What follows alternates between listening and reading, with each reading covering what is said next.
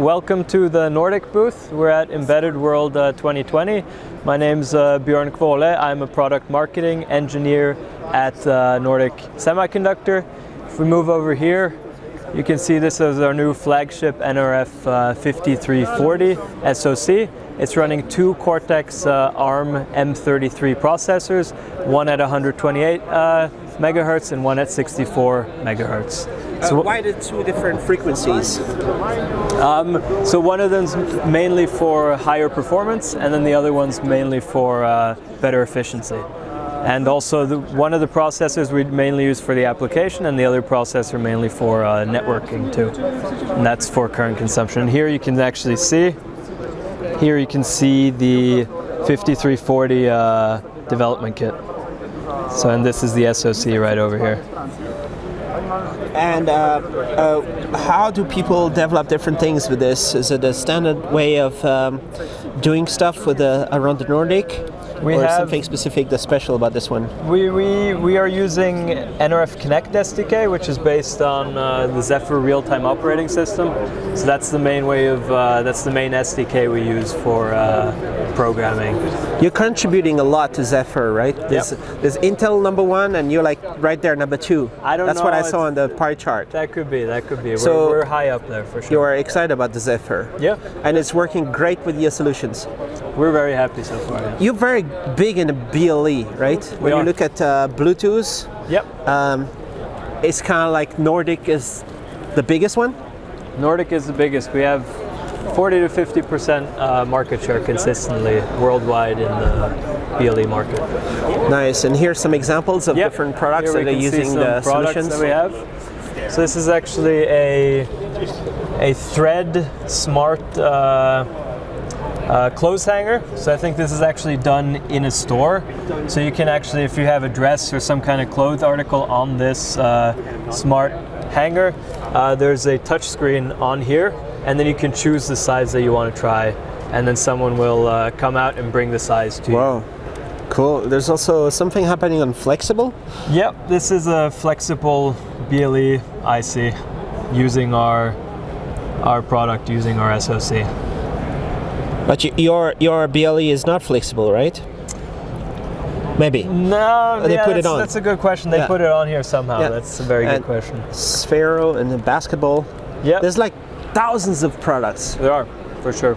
So here the basketball is quite cool. I think you you have a bunch of different statistics that you can use uh, to improve uh, your basketball performance.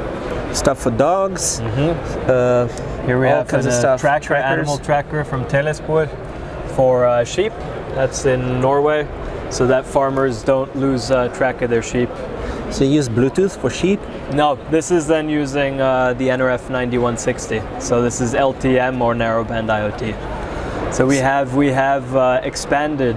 Before we focused mainly on Bluetooth Low Energy, but now we're also expanding into long range uh, LTE-M1. And so, so this kind of ha- started last year to do Yeah. these? Yeah, Before exactly. you were just doing the stuff? Before we were mainly doing this, and then we expanded with the GPS, narrowband, and Th- LTE-M1. This means your smart devices have no limit in range anymore, right? With this kind Uh, of technology, still- you can go very far. You can go 15 kilometers, roughly, max, That depending on where up- the base station is. But So- of course, you have multiple base stations around, and then you are in effect, you have a long range for sure. Uh, so maybe c- do you show some of the, the li- like list of some of the partners that are Sure, doing sure. different boards?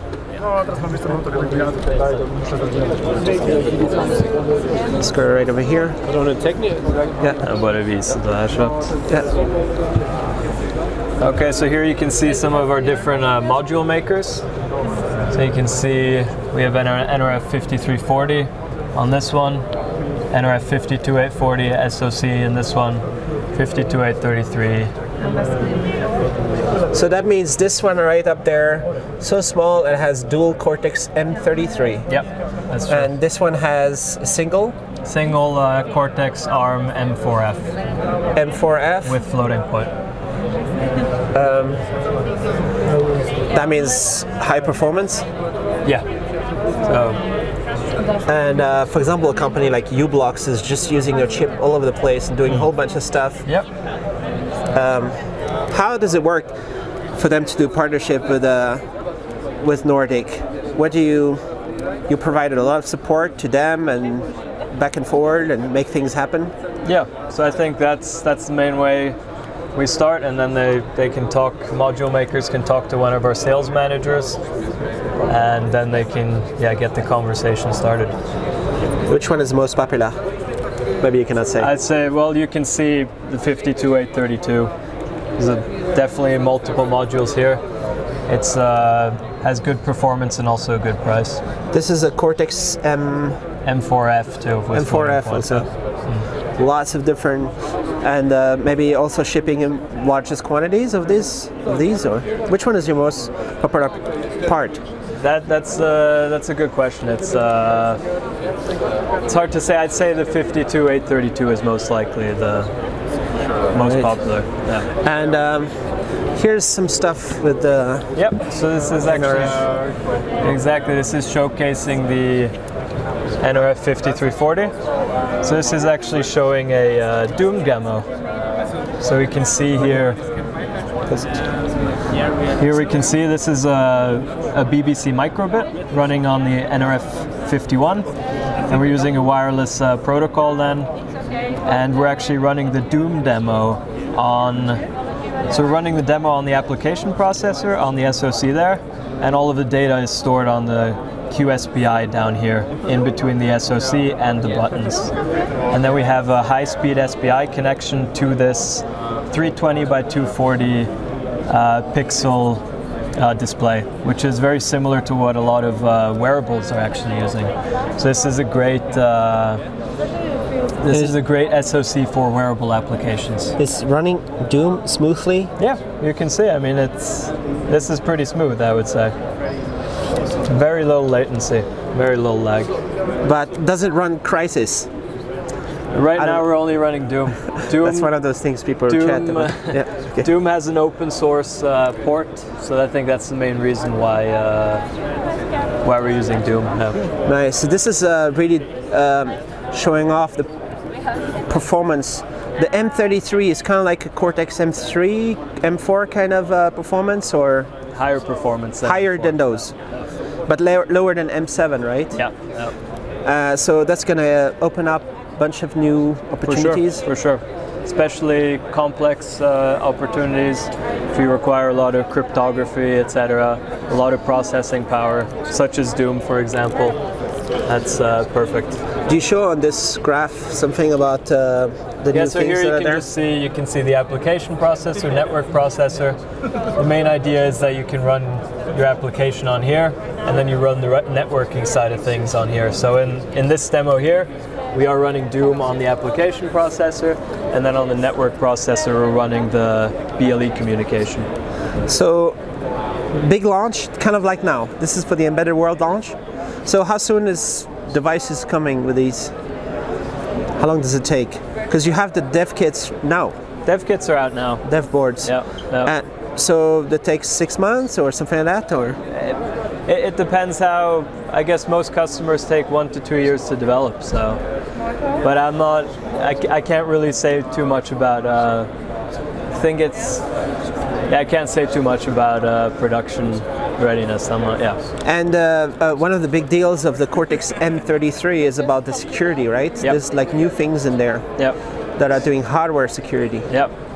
So you have uh, you have the ARM TrustZone for once, which sets up secure and non-secure parts of flash, RAM, and peripherals. And that then implements uh, root of trust. Uh, you also have a key management unit. Uh, you have a CryptoCell for hardware acceleration, and also the SPU too. So there are, yeah, uh, it is big focus on security on this uh, SoC. Nice. So even though it's a little bit of a strange embedded world, what's the reception so far about this one? I mean, you can see there are a lot of people here. Your booth uh, is always busy. It doesn't matter what's happening in the all world. the time. And we do notice there is a lot, a lot of people are interested in, especially in the uh, 5340 demo. What's some of the other demos you have around here? So here we have a thread house. You can take a quick look at that. I'll move over to the other side quickly. Yep. So this thread demo, here we can see I have a remote here, as you can see here. And here we have a set of commands. So I can turn on and off the TV over there. At the back there, you can see the TV turns on and off. Uh, we have a fan up there. Then you also have a light, which you can turn on and off. Uh, we have a door lock right here. So I can either lock the door, unlock the door, and then I can also open the door, close the door, and we also have an alarm. So if I turn on this alarm, see one more try. Now the alarm's on, and then it should make, uh, let's see quickly. So the alarm is armed. Now you can see it makes some noise. Uh, one other thing is here is we're running uh, CoAP over UDP, so we have a gateway, and this is then connecting to uh, the Things IO, uh, which is a website where you can see more info on uh, the status of the home itself. so as you can see, we can see the alarm alarm status, armed or not armed. Uh, you can also see door control, etc. We can also ring the doorbell, for example, and then you can actually see we get yeah we got a new event. Yeah it is 253 so this is the event we just got right now. I can press it one more time just to, so you can see we got an event right now doorbell rings.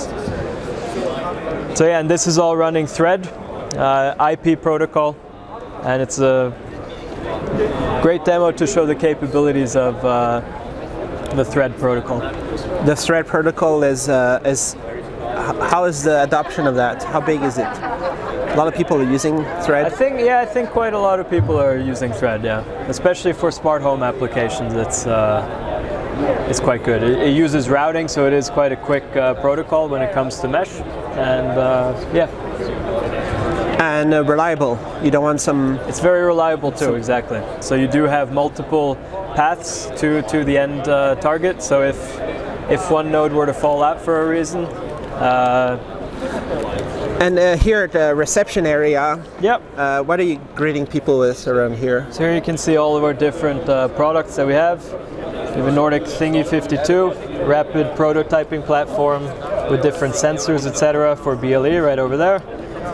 You have the BBC Microbit, which we had in the Doom demo that I showed previously. It's running in NRF 51. How's the Microbit going? Uh, like lots of schools are using them. Think, yeah, a, lo- a, lot of schools. I, I, don't have any numbers for you, but I know it is uh, it is quite a it's in a Norway. Popular, any?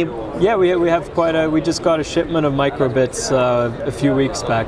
So uh, all the children in Norway, they're all using it, or just some? Maybe not all, but definitely, some. definitely. And some. the UK is probably a lot. Yep, UK a lot too. Right. Uh, moving on, we have the power profiler kit. So this is a great tool for actually uh, measuring the current of uh, Bluetooth low energy applications and to see to see whether you are able to get the current that you need to get the battery lifetime that you require. Uh, here you have the 52840 dongle, uh, which uses our 52840 SoC. It's a very low cost uh, dongle. It can be used for uh, sniffing applications, for example, if you want to take a sniffer trace uh, between two Bluetooth Low Energy connections. That's a great, great tool for that. This is probably our most uh, most uh, popular development kit. This is the NRF52 development kit running with the 52832 SoC. Back here we have a 52833 development kit. Uh, it's running Bluetooth 5.1 uh, direction finding, so you are able to run direction finding AOA on that kit. Uh, and then back here we have the 5340 development kit. No, sorry, the 52840 there. And then we have the NRF uh, 9160 development kit over there.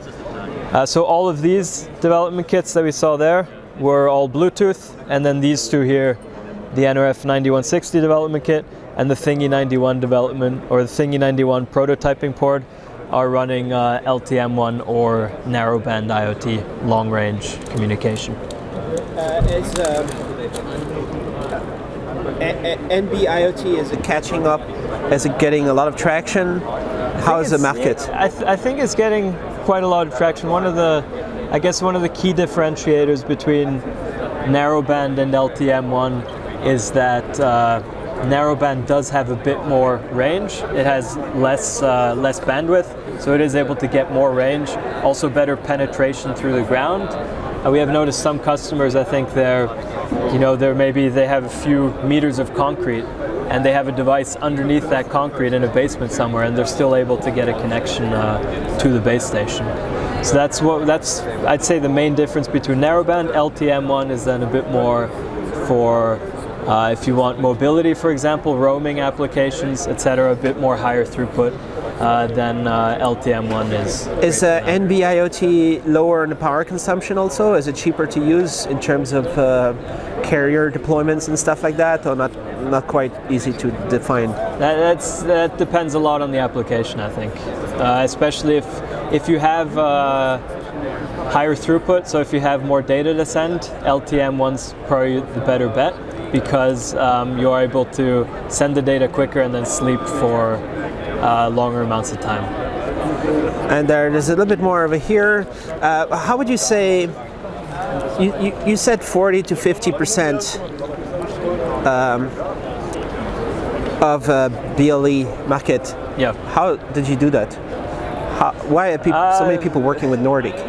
That's uh, it's a company called DNB. It's a bank in Norway, and they have uh, the Bluetooth SIG. You have all of the every device that um, every device, every Bluetooth Low Energy device has a listing. So from that, you are able to sort of estimate. Check. But I mean, like, uh, how, how did Nordic become so successful? How did Nordic? Okay. Is um, it uh, some kind of we just better and faster and uh, lower power and I better price, or? Oh, yeah. We do have very low power consumption. That's a part of our DNA, and it's also a very usable solution.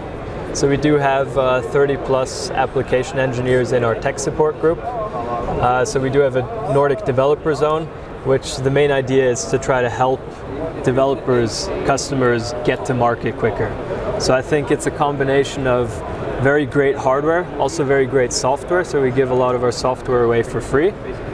And you also have the support then from our Nordic Dev Zone. And that then enables customers to come to market quickly. Let's check this demo right here. Yeah. What's happening there? Okay, so this is the Zigbee demo. So here we have a Zigbee house. It's very similar to the Thread demo over here. And here you can see you can turn on and off uh, the different lights. Uh, you also have a door lock. I think we can. Is this on? Yeah. Alexa, unlock the door. Zero zero zero zero. Unlocking. Hang on. Nice. So you told uh, Alexa the password. Yep. That's cool. Exactly. So now you know the password too. Nice. So yeah, that's the main that's Zigbee. It's very similar to Thread in many ways. Um, I'd say the main difference is it uses a different uh, routing technique than Thread, but it is uh, Zigbee's been a, uh, around for quite a while, and as you can see, there is uh, Alexa support. Uh, you have an IKEA light bulb support. Zigbee, yeah, it's here to stay for sure. Nice, and there's a couple more here. It's very yeah, busy but uh, maybe we can get to that one there. Let's get right here. Because it looks like um, the stuff happening with a small. Is it is it e-ink displays? Yeah. So this display here, you can actually see if you look on here. Uh, you can see this is Google Calendar, and we can basically give in uh, different event dates, and then from that this then this information then gets sent down to the NRF 9160 here. So this uh, development kit here, and then it's sending BLE packets then to these different meeting rooms. And these meeting rooms are all using uh, e-paper displays. So you can see right now they're all vacant. But if I were to give in, if I were to give in a uh, a new event at this time, you can then see that uh, the e-paper display would get updated with with the calendar So event. narrowband is coming. This is what I All right. If we move on to the, this device, this is another demo that we're running on the NRF, this year the Thingy 91. So you can see we have an NRF 9160 SIP. We're running uh, iBasis SIM cards, LTE-M1, and here you can actually see, if you zoom back out over here, you can see these are all of the devices that we actually have connected as of right now. So I think I can uh, yeah, So you can see here, program my client to contact. this is actually uh, one of the devices we actually have on at the moment. If yes, And you can see this, we are indoors, so there's no GPS signal right now, but we are able to get uh, an approximate position via the base station. So that's how we get the location uh, position. So it's uh, NB-IoT. I think this is this one is running. We have some running on LTE-M1, and then we have others running on narrowband IoT. What's the billing? How does it work? The how do people pay for this service? Like telecoms have some kind of package. Yeah, so the telecoms have some kind of package, and then depending on how much data you you need, uh, yeah, you pay varying on, on the data you need to use. Very similar like uh, to a- cell phones, You can say one gigabyte for one year, and boom, that works. for example. You also get you get uh, 10 megabytes free of charge when you when you either buy a Thingy 91 or a 91 uh, development kit. You get a free iBasis SIM card, and that gives you then 10 megabytes free of charge. How many c- countries have this stuff implemented already? Are there some that are not that need to catch up that are not quite advanced in this yet? There are a few that I guess need to catch up, but mo- most of the major countries already have either LTE-M1, narrowband, or both supported. All right. So I think, There's a bunch more, but it's busy, right? Uh, yeah. I'd say that's the yeah. th- those are the main demos. I'd say. cool. So what's uh what's the next kind of event Nordic goes to? Next kind of right, we're at uh, Light and Building. I think that's in one or two weeks time. So we will. Is that cancelled show. Oh no, sorry, that has been cancelled. That's right. You were in Barcelona, right? That's cancelled. That's yeah. cancelled. Um, We'll see. Let's see. A bunch of shows. You just go to all do, of them. We do have a Nordic Tech Tour that's starting in uh, March 9th, actually. So that is a that's basically where we present. Uh, we present for around six hours. We present our solutions and present uh, in great technical detail what, what solutions we have to offer. On the web?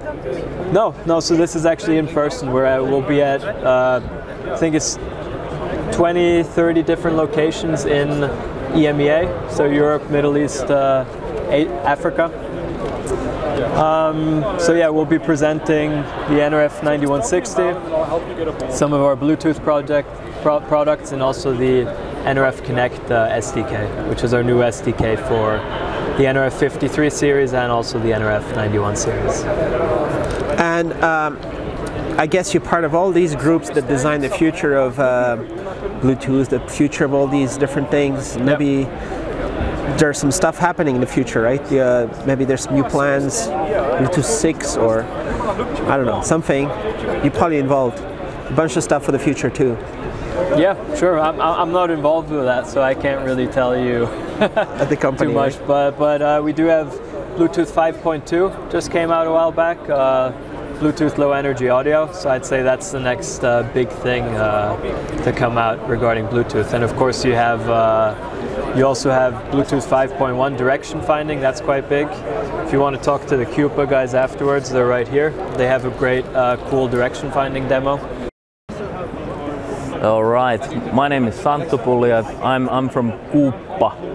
We're here at Nordic booth and we're here demonstrating Quuppa's um, indoor positioning technology. Uh, this, these tags, which we're tracking with our locators up there, these are based on Nordic Nordic radios, and uh, we are we are using direction finding to locate these tags on, on the on the things. So, what's inside here and there and, and up there? Yeah, basically these are all all simple BLE tags, but they operate on the, they run Quuppa firmware, and uh, we operate slightly different than normal tags. We are sort of on the edge channels of the BLE spectrum, so it means that it's more sort of uh, free from other radio traffic that headsets and, and, phones are using, and therefore the, the accuracy is getting better uh, when we when we track the items.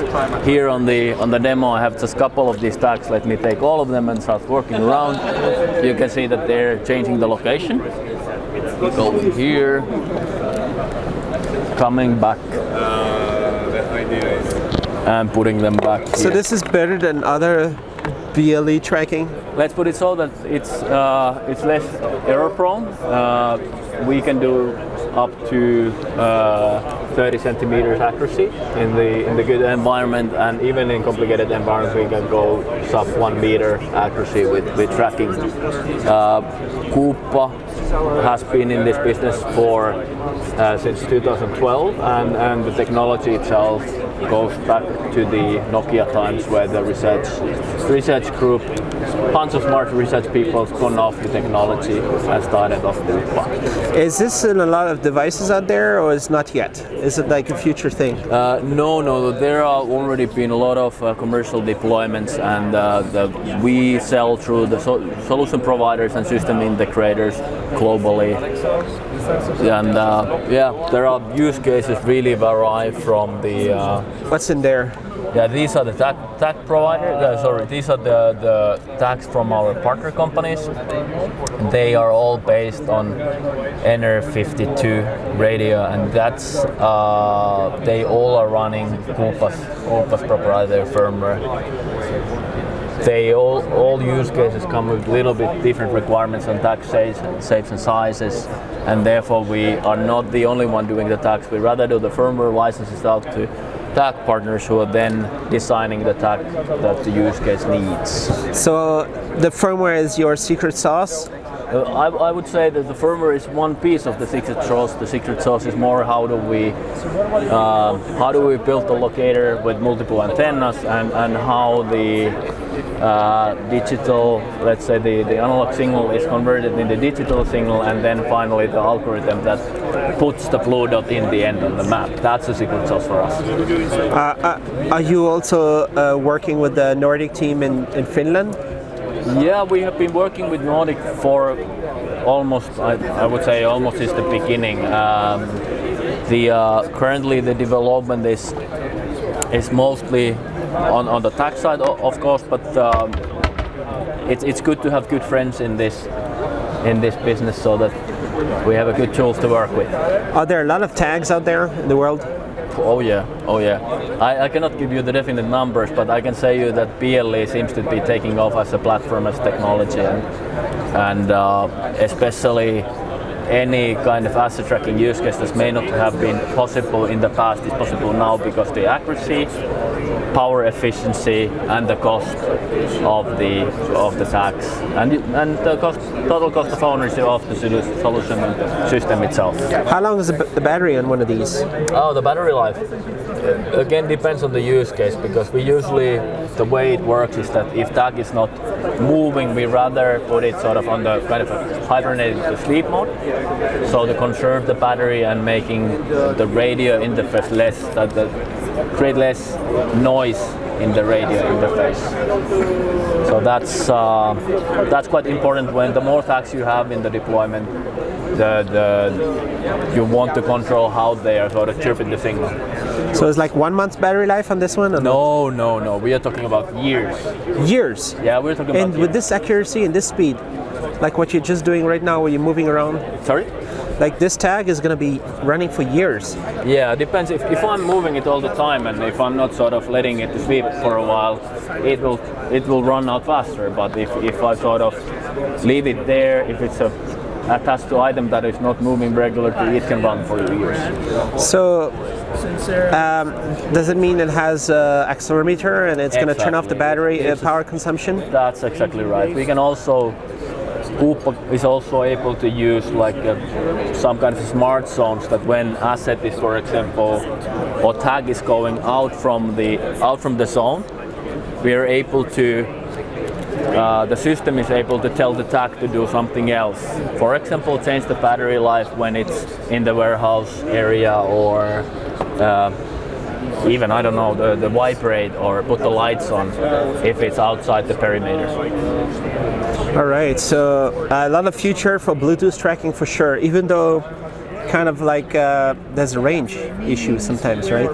You could say so, but I, I, I think so far it, it hasn't been that the range itself hasn't been really the, the limitation for us.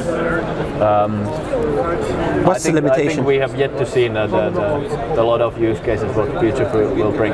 What's the price of one of those tags? Oh, we we are talking about anything between the five five euros up to I don't know 80 euros or even even more. But that all depends on the sensors that you have on board, the battery, the casing, the certifications, and.